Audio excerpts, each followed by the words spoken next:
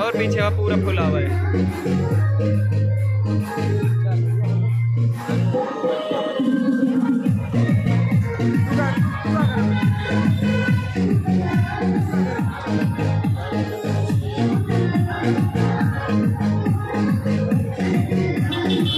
Thank you.